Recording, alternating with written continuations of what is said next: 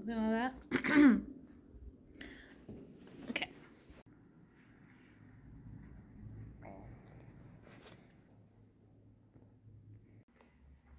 Hello, everybody. I just wanted to read a little bit out of this book. I'm still in chapter one, but here we go. Just a random excerpt. Honestly, it means it's just random. It just helps me to read out loud. So, founded in 2011 by former Syrian military leaders who had defected from Assad's forces the FSA led the beginning of armed insurrection against the Syrian leader. In 2012, both sides took losses in battles around the city of Aleppo.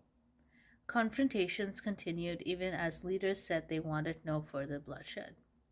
While the FSA sought to oust the Assad regime, the YPG's stated sole objective was to be the dominant force in Kurdish areas and to remain neutral in the broader conflict over national rule, thereby op- opening itself to charges that it would be willing to work with the barbaric Syrian regime if it meant blocking anti Assad rebels from its areas.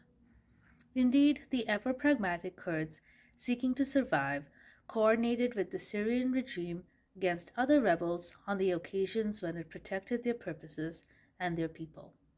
But for the YPG, that narrative of active alignment with Assad was too simple, and it left out the lessons of 2004 and all the years the Kurds had suffered at the hands of the regime.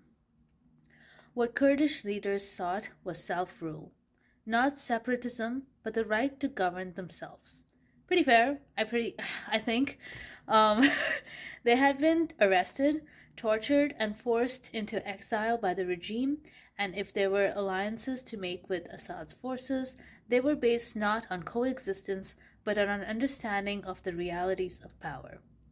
What the Kurds feared most in this moment was rising Islamic extremism among those seeking to oust Assad, including the 2012 creation of Jabhat al Nusra, an extremist group linked to Al Qaeda that showed no interest in minority rights.